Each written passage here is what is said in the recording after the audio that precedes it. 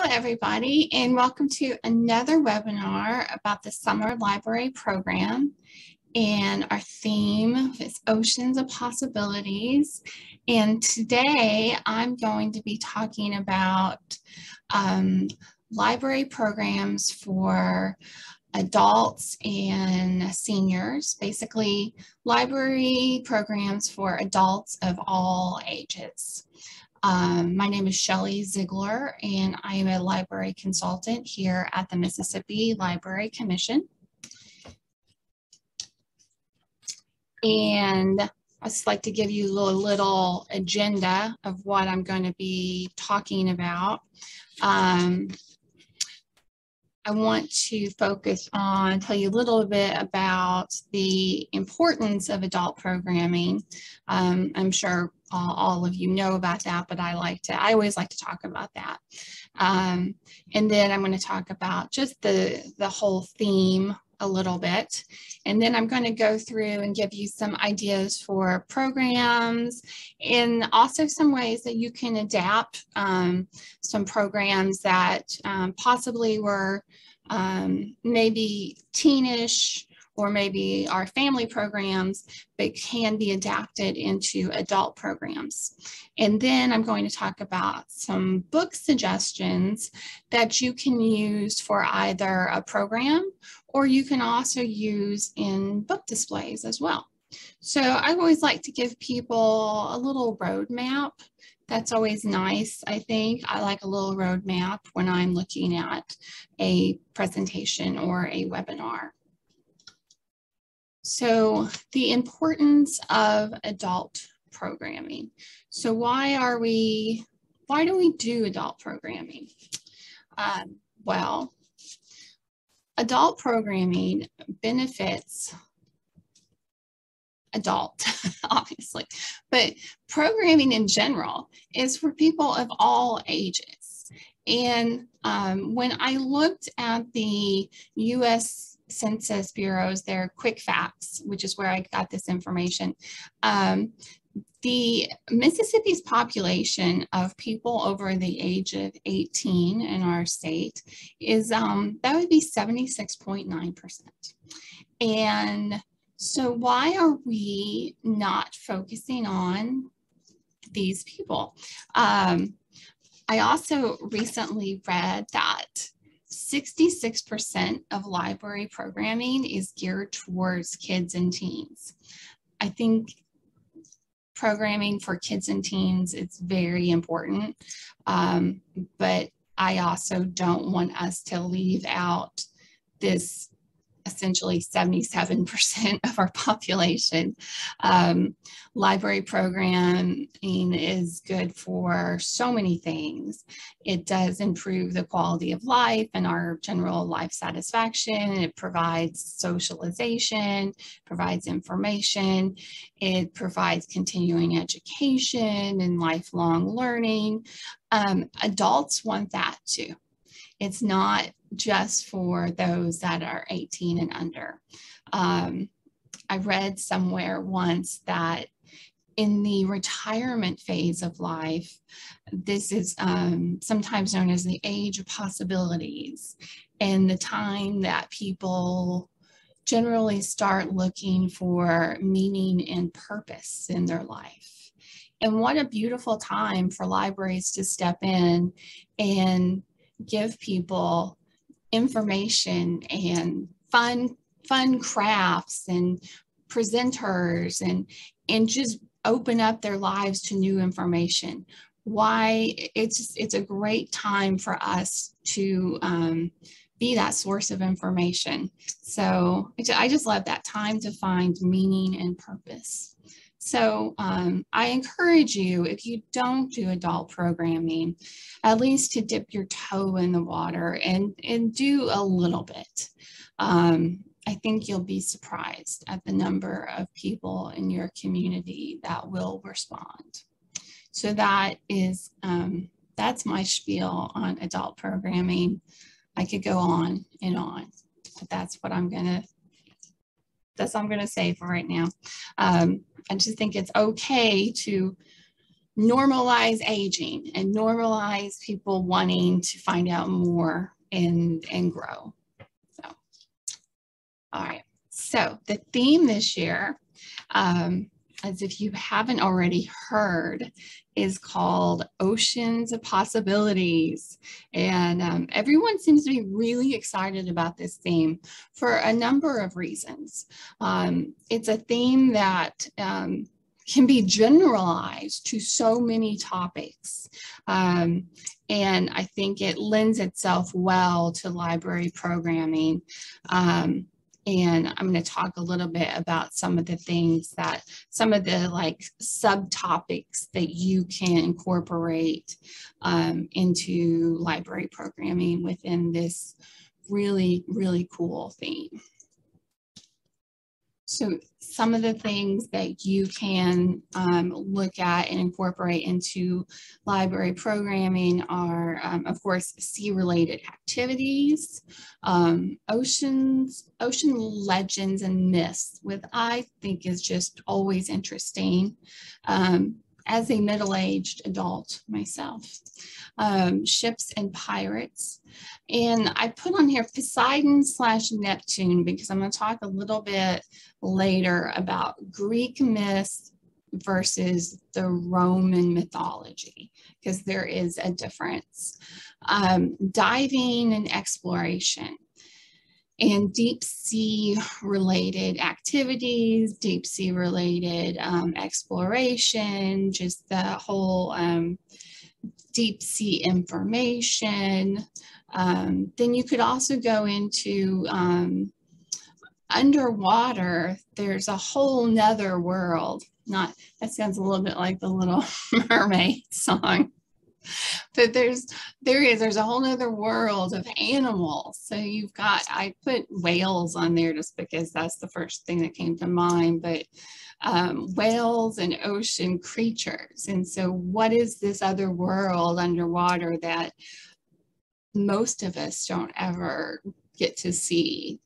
And then, um, really important are the environmental issues related to oceans, how we as humans, and this is very, this is a downer, but it's something that should be talked about a lot. We as humans are polluting our oceans and we're, um, with our plastics and our garbage, and we're basically putting a lot of creatures and animals in peril by um, by what by what we do with our garbage and littering. So not to not to be a downer, but it's something that should be talked about. So these are just a few things under the genre, under the theme of oceans of possibilities where you could go. So, and I think this is a really cute graphic here this little octopus. That's cool.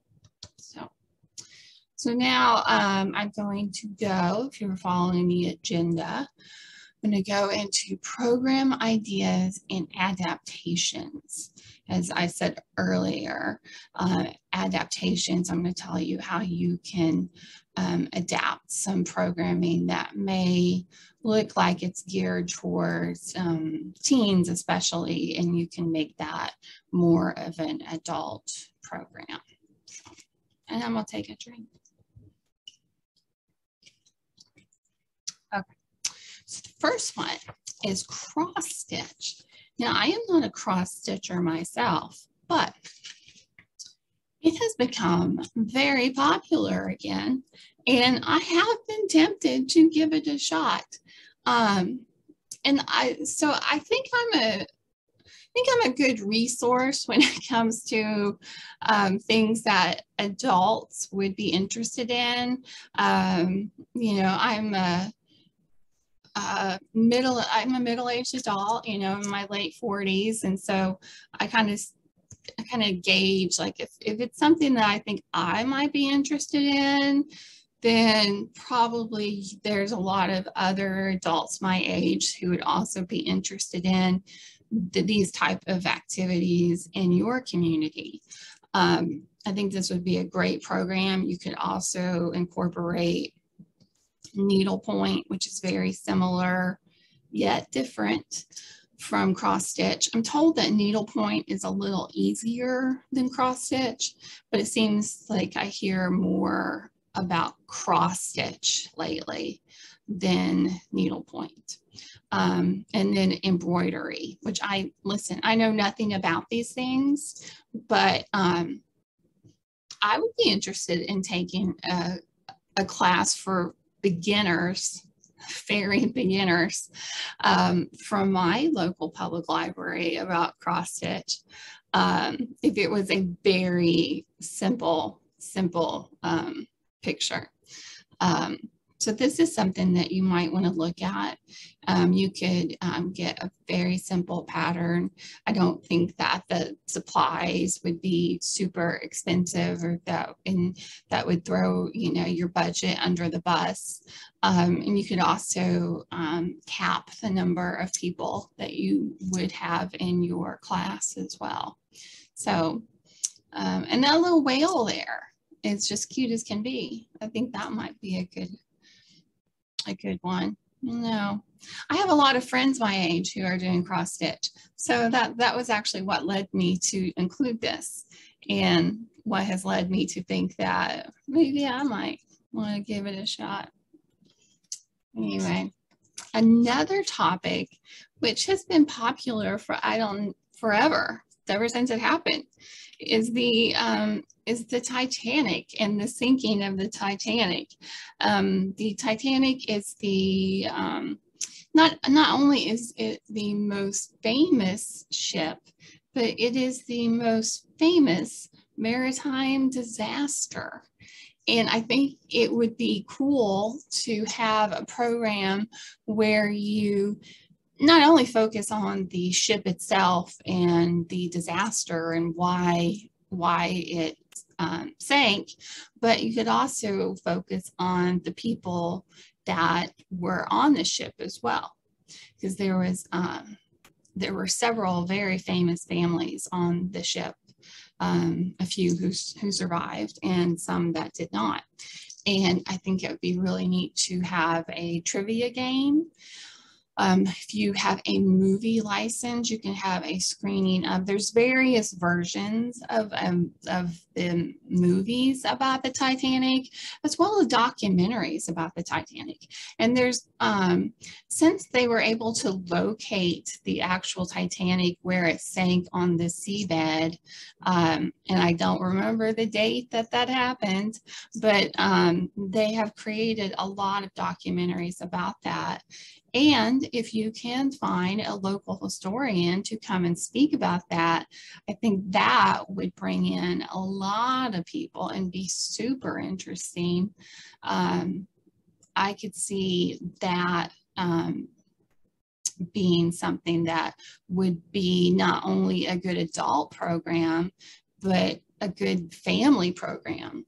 So I'm when I talk about some of these programs from here on in my presentation, you might I, I might tell you which ones are going to be good adult programs, but also ones that are that you can incorporate into family programs. And that's a good thing because that can up your attendance, which um, which is always good. So there you go. And then going from the Titanic, we're going to go into shipwrecks in general, which um, I'm not smiling because I'm like, oh yeah, shipwrecks are great. No, but they are interesting. And people are always interested in shipwrecks and how they happened and where they happened. And you can actually go on, um, I'm going to say Wikipedia, which is not a horrible site. People think that you can't trust any information from Wikipedia, and that's not necessarily true. But you can go on Wikipedia and they have a list of shipwrecks and um, I think it goes back to the 1700s and they list um, shipwrecks by date, by location where they happened, and also by year. Now, I also want to uh, warn you that when you get this information to double check that that information is correct. And that would be in the footnotes on Wikipedia about where that information was collected. Um, so Wikipedia is a great resource. It's not something that you should be scared to use, but um, where I would always recommend that you look at where the information was collected from in the footnotes. Um, so that would be um, a way to find out about shipwrecks. Um, I always think it's cool to have a screening of a documentary. Um, I don't know, I'm gonna, I'm gonna say something that might be a stereotype, so please um, excuse me, but I feel like a lot of people as they get older, there might be younger people, they tend to really get into documentaries. Um, there's a lot of people my age who hate documentaries, but I just feel like um, documentaries really tend to be of interest to a lot of adults. Um, again, that's a stereotype, so please, please, please, please excuse me for saying that. But um, they documentaries and bringing in local historians who can speak on a topic tend to um, be great adult programs.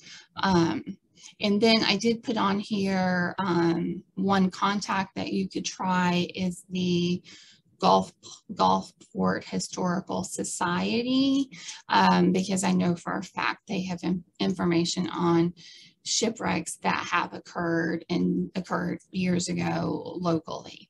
So um, that might be a resource for you depending on where you are in the state. So that's what I want to say about shipwrecks. Then I want, this is kind of my favorite, I don't know, because it's so crafty. And it might look like it's something just for kids or teens, but I don't think so. Because in a previous um, summer library program webinar, I think I talked about a gnome garden one time. And um, I did have a couple librarians tell me afterwards that they did it and that it was it was popular. And it was very similar to this. And this is like a fun, easy program where there's not a lot of structure, all you have to really do is have these supplies and let people come and just like let their free thinking and their creative juices flow. So with this, and you, you could provide the um, colored rocks, some type of container or basket, or you could ask the people coming to bring their own container. Um, you could provide these like little fake plants. And these are things that you can get really inexpensive at um, a lot of really, you know, Dollar General, Family Tree, places like that. Um, even places like um, Target where they have their really, um, they're like one, three, and five dollar stuff at the very front. They'll often have really cheapy things like this. Um, and then some type of ocean-like object. It doesn't have to be a mermaid garden. If somebody doesn't want to have a mermaid garden, they want to have a pirate garden. That can be fine too. Um, just some, somewhere where you can find um, like nautical type things to put in there. You could try um, Hobby Lobby or Michael's. Those might be a little more expensive. Again, so this might be a program where you could um, cap the number of people that can attend. Um, I always love a program where you just provide the materials and then you just let people, you know, make what they want. And there's no bad way to do it. There's no right or wrong. Um, I think a lot of people don't, especially adults, they don't get the chance to be creative like that very often in their lives. And that's why I think this would appeal to them. Um, and this is, like I said, looks like a kids or a teen program, but it is, it's easily adapted into an adult program. Um, and one more thing I want to say about this is that this could also be converted into a, a grab and go um, um, kit if you wanted to. Uh, you, you could just do it in a really mini version um, where you just provide them, you know, like a few rocks, like, and then maybe one plant and one little nautical item, and then like one little basket.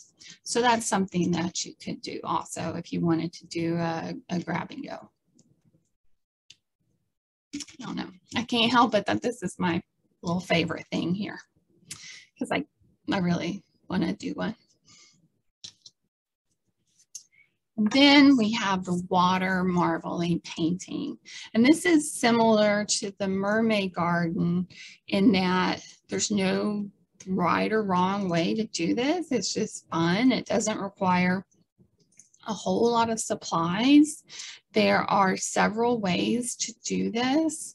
There's, um, you can do it in many ways. Um, when I looked online about water marbling painting, you can use um, acrylic paint, paint, paint. You can do, you can use um, shaving cream. Um, and that's where you add, you add paint onto the shaving cream. Um, you can use oil and food color and you can also use nail polish. So there are several different ways in order to create the marbling effect with the water. Um, so um, really you just have to go online and do a, I don't usually say this, but a simple Google search. Um, this would be a great family program. Um, it would also be just a great adult program as well. Um, but I would also say be prepared because it also could be a very messy program. Um, so be sure to have your tables covered and be ready to be wiping up a lot of stuff. But I think I think this would be really, really neat and fun. Um, and then not that I'm talking about teen programming, but this would be a good teen program as well. So this one kind of runs all the all of them. Um, I just think this one's really neat. Um, and like I said, I don't think the supplies, there's really doesn't require a whole lot of supplies. And there are supplies that you could use over again in other programs as well. Oh, right. This is a this is one that's close to my heart. So it is about God and goddesses of the sea. So Greek mythology is typically the one that people know about for the most part. Um, I don't know why. And again, I'm, I'm generalizing, so I could be wrong. But when people think about like gods and goddesses. They think about Zeus and Poseidon and Aphrodite and Athena. So those are all Greek gods and goddesses. Um, Roman mythology, um, which is very closely tied to Greek mythology, um, but it's not the same, but they did take um, they did take a little lead from Greek mythology. They, it is a little different. Um, there's even a subtype called Greco, Greco-Roman mythology. Um, and this is something where you could have an expert come in and talk about the differences between, um, between the two and how they cross over. But for example, in Roman mythology, Zeus, like the same character of Zeus, is called Jupiter and Hera, who's Zeus's wife, is called Juno, and Poseidon is called Neptune, um, and Aphrodite is called Venus. And so we've all have heard of Neptune and Venus, but maybe you didn't know that those were the Roman gods, not the Greek gods. So this would be a great, if you were to have a speaker, um, a great educational program. Um, and I think a lot of people are interested in, in gods and goddesses in Roman and Greek mythology, and they probably may not know that there is a difference. Um, and then I want to talk about the Clash of the Titans movie. And um, of course, this will you you could show the movie, and there are two versions of the movie. There's the good one, which was which was the original, which came out in 1981, um, and then there's the one I haven't seen, which um, I don't know, came out 2000 something. Um, maybe it's good. Maybe I should watch it. But um, the the good one is the one that I just adored as a child, and I actually learned a lot from it. Um, but the um, picture on the bottom of the of the young man in the in the blue toga looking like thing. That's um that's Calibos and he is the son of thetis who is the queen of the sea. So you have poseidon um, the king of the sea and his counterpart thetis. And i hope i'm saying that correct. Um, i remember when i was little um, and i would watch clash of the titans um, Calibos would scare the heck out of me. He was very, very scary. Um, I hadn't, I've not seen the new movie. Well, it's not new, but the 2000 whatever edition. But I saw a, a picture, I think, and I don't think they call him Calibos. I think they call him another name. I think they call him the Roman name. And he just doesn't look as scary. I don't know. Maybe one day I'll watch it. Um, anyway, so you could show one of those movies. Um, caveat, if you have a movie license to do so. Um, you can also um, have a, I really like this, a Jeopardy style game or, or a trivia game um, about people's knowledge of, of gods and goddesses. Um, that might be fun. And then, of course, I I've always talked about having someone come in and talk about the differences between Greek and Roman mythology. Um, I find that fascinating. I think a lot of a lot of people would. And then we come to step-by-step -step painting classes. These have been pop. I don't know if they're as, a, if they're as popular now as they used to be, but they used to be super popular and they used to have all these funky little names like, um, um, I don't know, like painting with a twist. And they used to have something to do with wine, like wine and paint or I don't know, things like that. I used to go to several of them. And what would it, what it would be like is like there would already be a painting done and then uh, an instructor would lead you through making that painting like step by step. And it always looked like kind of a complicated painting, but once you did it step by step, it was not hard. Um, this could be something that you could do with teens, but I think it might be um, a cool adult or family program.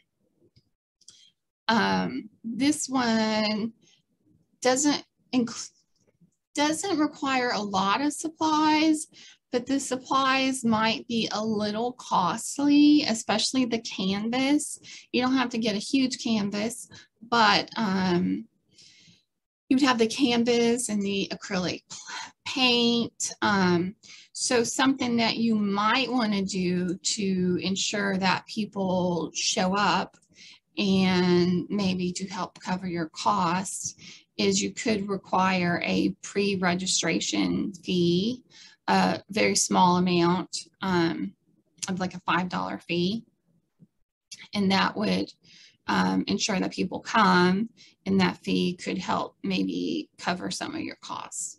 And I don't think, I don't think, I'm, I'm never one to, to suggest um, asking money for programming, but if it's something as like a special program like this, I think that once in a while it's not terrible. Um, or you can even make it a smaller painting. They have these canvases that are like three by three that you can get and you can get, you could probably order a whole bunch of them and then that way you wouldn't have to um, require a fee but if you were going to do one of the larger canvases, then that, that could get a little pricey. Um, but if you have a crafty person on staff, um, which a lot of the libraries do, I've noticed when I, especially when I see their displays and I'm thinking that there's there's a lot of people that are already crafty out there that are working in libraries. You could have them um, run this program and um, do a painting and then um, help people um, paint it step by step. So, and then again, at the end, no one's painting looks the same. People might choose to do different colors than the original painting. And there is no perfect painting. There's no right way to do it. You do it however you want. It's supposed to be fun. So um, that's just an idea, I thought. Thought that would be kind of cool, especially for adults. Because um, I know I've, I've gone to several of these. And um, I mean, and they were, you know, they're not cheap. They were like 45 $50 a piece. So, um, okay. This is something that I think is really neat. It is called um, decoupage glass magnets. And it's it could work for teens, but I think it could also work for adults and families. And I made some a long time ago, like 10 years ago when I was um, working in public libraries. And what you do, um, you need either magazines or um, for this summer theme, you could have some nautical scrap paper, um, scrapbook paper, excuse me. Um, you need some Mod Podge, um, preferably the matte Mod Podge, scissors. You can buy flat marbles. Um, they look, oops, they look like that. Well, this is one that's already done. But these flat marbles, you can buy those at any craft store, like a whole bag of them. Um, flat marbles, um, foam brushes, they're really cheap. Um, magnets you can buy actually as a, as a, like a big strip like a big wound up strip of them and you can cut them. Um, or you can buy the buttons. The buttons are a little more expensive. Um, I recommend the strips. Um, and then you buy this glue. It's called E6000 glue. You can get that at basically, you know, any um, crafty store. Um, so you, you cut out of the, either magazines or the scrapbook paper um, a picture and then you glue it onto the back, the back of the magnet and then you glue the magnet on there. Um, and this has stayed on there. Gosh, I can't get that on there. For I don't even know we cut in a circle. You can also buy a circle punch if you you know had had you know money. Not that they're expensive, but if you wanted to. And um, these things, you know, last a while. They don't hold up a lot of paper, but you know, you can put any picture under there, really.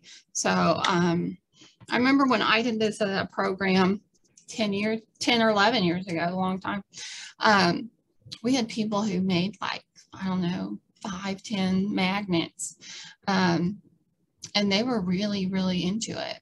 So this would just be another fun outlet.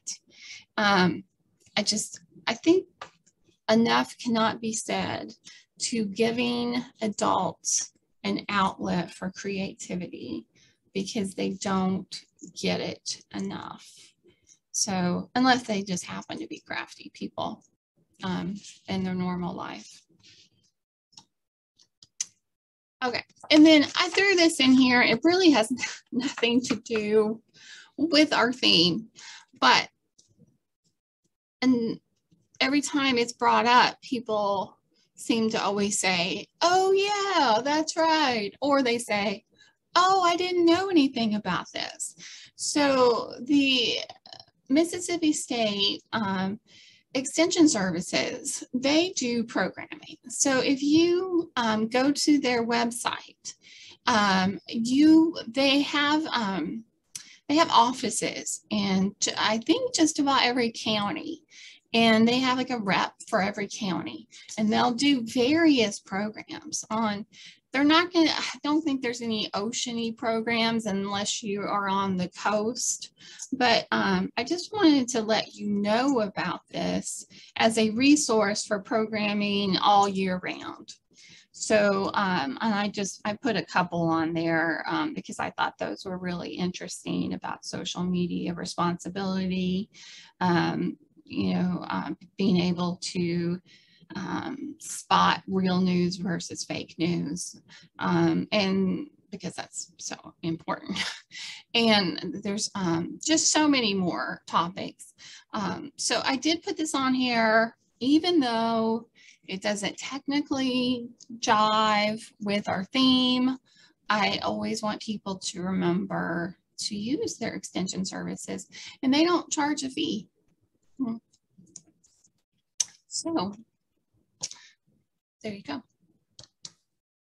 Okay, now I want to talk about what people call take and makes or grab and goes, whatever you call it.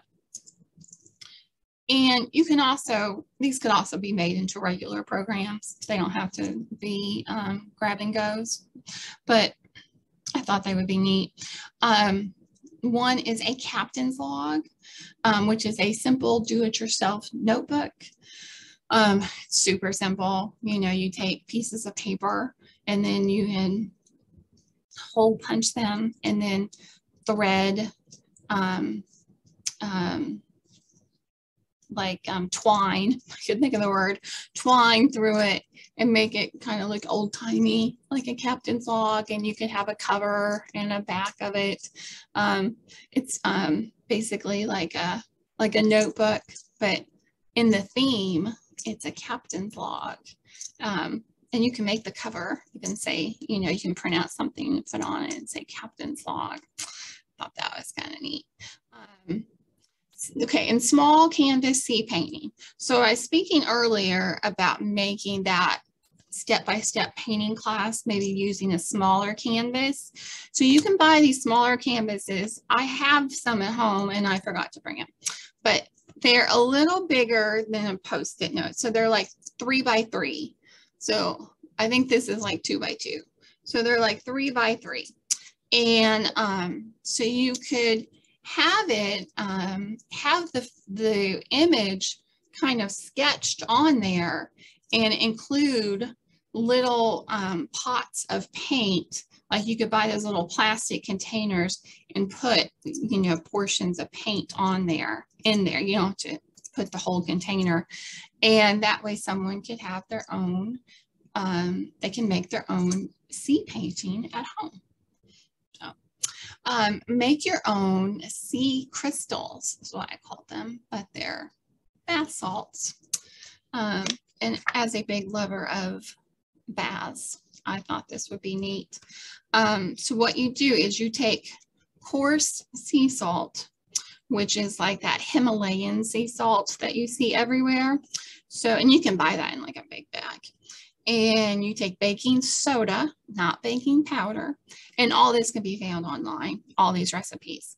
And then you add an any type scent of some essential oil, whatever you like, um, eucalyptus, lavender, you know, what whatever you want. Um, and then if you want for fun, and it just makes it look pretty, um, some dried flowers and um, that's it. Um, so you could put all these things in little baggies and let people combine their own and make their own sea crystals. Um, and then a treasure hunt around your community with a fun prize. Um, what I think would be neat would be if you had a treasure hunt where people um, had to go around your community and there was a hint of some place they had to like take a picture of and they um, maybe you had a Facebook group, like a private Facebook group that they had to join and they would upload their photos onto that. That would be neat. That way you wouldn't have to go around hiding stuff in your community. Um, you could just have these places where they would have to go and take a, a certain photo, and the first person to get all the photos wins. And, you know, it doesn't have to be some fabulous prize, but, you know, people just like to, people like the hunt. So I think that would be neat. So again, um, I think the sea salt, or I'm sorry, the the, the sea salt, the sea crystals, the small canvas sea painting, the captain's log, those could all be um, programs if you wanted to. But they all they also could be grab and goes, take and makes. Can't think of another word, but things like that. And now I'm going to talk a little bit about some books that mm, will fit into this year's themes. And these books can be used for, you can use them for if you want to do book clubs, if you want to use them for displays, um, uh, if you want to do a book talk and you want to highlight some of these books, you could do that also. So the first one, because it has the most, the coolest cover ever, um, is part of the Jane Austen parody duo. I do believe there were only two. I don't, don't quote me. Um, Sense and Sensibility and Sea Monsters. This came out after Pride and Prejudice and Zombies.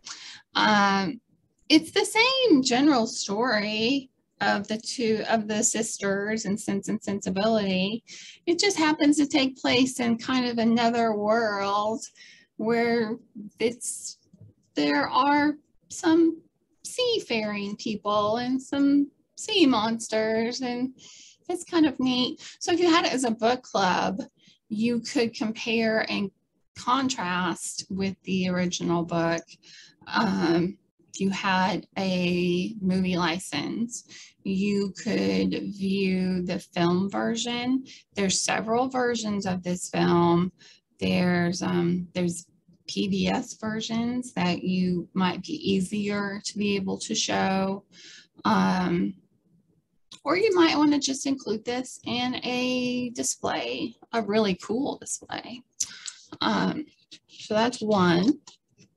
And then I have just a general books that are set in the ocean, but I kind of picked different ones. So this first one, The Glass Ocean, it is an historical fiction book. Um, I read this several years ago myself and um, I love historical fiction. So, uh, but it's about three women and their their lives on this ship and how they intertwine and um, and as always, as all historical fiction books are, there's always a woman with her back to the to the to the reader. That trend has not stopped. Um, and then the deep this is kind of a cool book. I have not read this, but I read some good some good stuff about it. But um, it's about the Titanic and about how it might might have been haunted. Um, this is fiction, um, but it's kind of a creepy thriller mystery. So I think that would be that would be kind of cool to read. Um, and then this next one is actually a favorite of mine. I love the book. I love the movie. Um, it's a nonfiction book called The Perfect Storm. Um, it's about a huge storm, um, the Andrea Gail that occurred in 1991.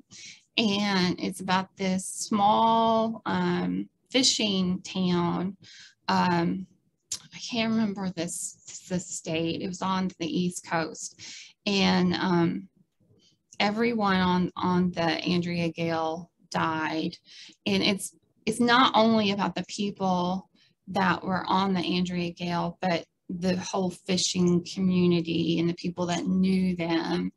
And it talks a lot about the fishing industry. Um, it's just a really, really cool book and it's so informative. Um, and it's a great movie, which is rare. I mean, a lot of times, you know, the movie is never as good as the book for me. my opinion.